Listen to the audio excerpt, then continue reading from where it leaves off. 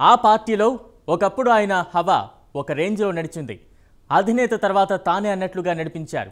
అందుకే పార్టీ అధ్యక్షుడు కూడా ఆయనకు సమున్నత గౌరవం ఇచ్చారు.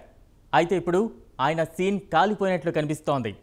ప్రత్యర్థులపై ట్వీట్ల యుద్ధం చేసే ఆయన ఒక్కసారిగా సైలెంట్ అయిపోవడం పార్టీ శ్రేణులను విస్మయపరుస్తోంది.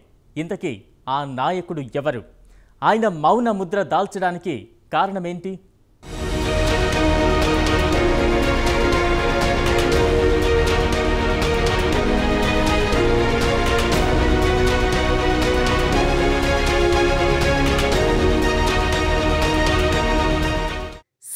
జగన్ తర్వాత వైసీపీలో ప్రభుత్వంలో ఎవరంటే ఠక్కున విజయసాయిరెడ్డి పేరు వినిపించేది. ఇప్పుడు ఆ పరిస్థితి కనిపించడం లేదు.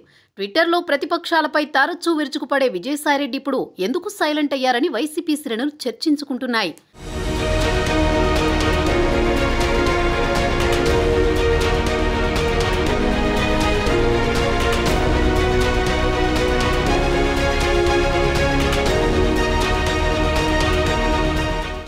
తారకరత్న మృతి ఘటనతో ఆయన మరింత సైలెంట్ అయినట్లు కనిపిస్తోంది.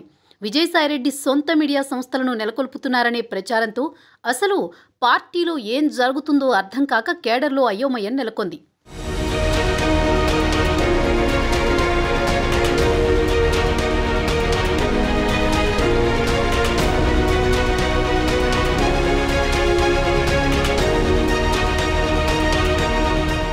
మొదట్లో వైఎస్ రాజారెడ్డి వైఎస్ రాజశేఖర రెడ్డితో విజయసాయికి మంచి సంబంధాలుండేవి. ఆ తర్వాత జగన్మోహన్ రెడ్డితోనూ అదే స్థాయిలో సంబంధాలు కొనసాగించారు. గత ఎన్నికలకు ముందు పార్టీ నిర్మాణ బాధ్యతను భుజస్కంధాలపై మోశారు.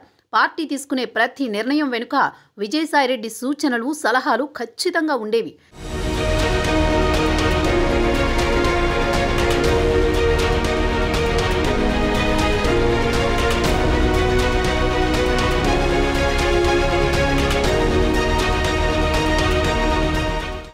ఎన్నికల్లో అన్నీ తానే నడిపించారు. అద్భుత విజయాన్ని జగన్కు కానుకగా అందించారు. ఎన్నికల తర్వాత కూడా జగన్ తర్వాత స్థానం విజయసాయిరెడ్డిదేనని పార్టీలో పేరొచ్చింది.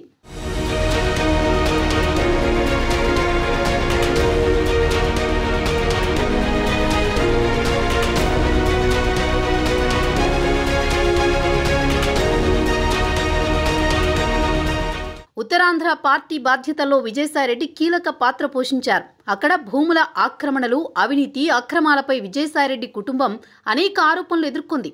ఆ క్రమంలో స్థానిక ఎంపీతో పాటు పలువురు నేతలతో విభేదాలు మొదలయ్యాయి.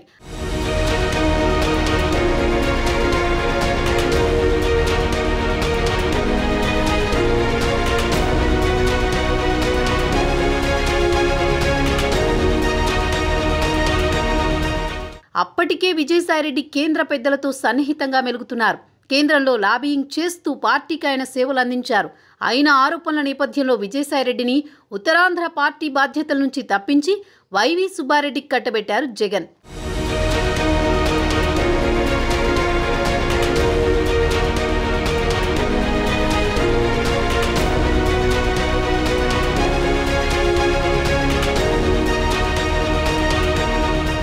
తర్వాత విజయసాయిరెడ్డికి పార్టీ అనుబంధ సంఘాల బాధ్యతలు అప్పగించారు. ఆయన నిర్వర్తించిన సోషల్ మీడియా బాధ్యతలను సజ్జల కొడుక్కి కట్టబెట్టారు.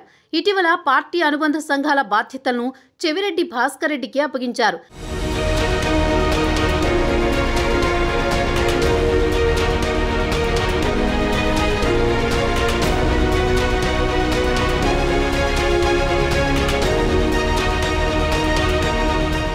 ఇలా ఒక్కొక్క పదవి తొలగిస్తూ పార్టీలో విజయసాయి పాత్రను నామమాత్రం చేస్తున్నారు వైసీపీ అధినేత. ప్రస్తుతం ఆయన కేవలం పార్లమెంటరీ పార్టీ నేతగా మాత్రమే మిగిలారు. కనీసం దీన్నైనా ఉంచుతారా లేదా అనేది సందేహంగా మారింది.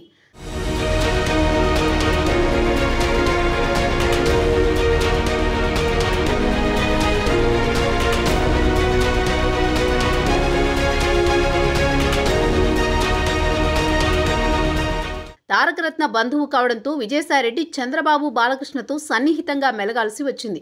దీన్ని సీఎం జగన్ ఎలా రిసీవ్ చేసుకున్నారో అన్నది వైసీపీ శ్రేణులకు ఎంత మాత్రం లేదట. తారకరత్న మృతదేహాన్ని సందర్శించినప్పుడు కూడా విజయసాయిరెడ్డి తనదైన తరహాలో టీడీపీ నేతలపై విరుచుకుపడతారని ఆశించారు. దీనికి భిన్నంగా విజయసాయిరెడ్డి చాలా సౌమ్యంగా వ్యవహరించారు. అప్పటి నుంచి ఆయన విపక్షాలపై దూకుడు తగ్గించినట్టు కనిపిస్తోంది. ట్విట్టర్లో విమర్శలేమీ కనిపించడం లేదు.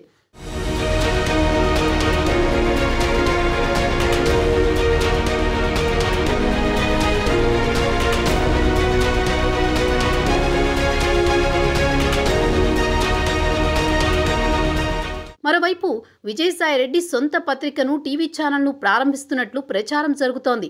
దీనిపై వైసీపీ పెద్దలు ఆగ్రహంతో ఉన్నారట. వైసీపీకి సొంత మీడియా ఉండగా మళ్ళీ విజయసాయిరెడ్డి సొంత మీడియాను తీసుకురావడం వెనుక మతలబు ఏంటని పార్టీ వర్గాల్లో చర్చ సాగుతోంది.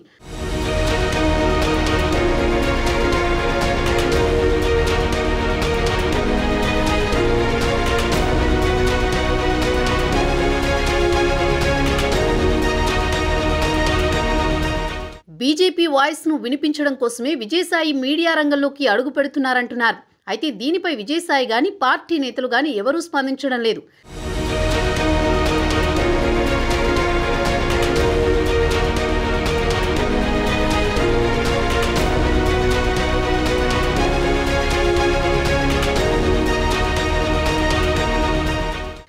జగన్ అక్రమాస్తుల కేసుల్లో ఏటుగా విజయసాయిరెడ్డి పేరుంది. సిబిఐ ఈడీ కేసులో జగన్ తర్వాత రెండో ముద్దాయిగా ఉన్నారు. ఇప్పుడు ఆయనకు పార్టీలో ప్రాధాన్యం తగ్గించడం వెనుక బీజేపీకి దగ్గరవుతున్నారనే అనుమానాలున్నాయి. కేంద్ర పెద్దలతో సన్నిహిత సంబంధాలుండడం వల్ల కేసుల నుంచి బయటపడేందుకు విజయసాయి ప్రయత్నిస్తున్నారనే ప్రచారం పార్టీలో నెలకొంది.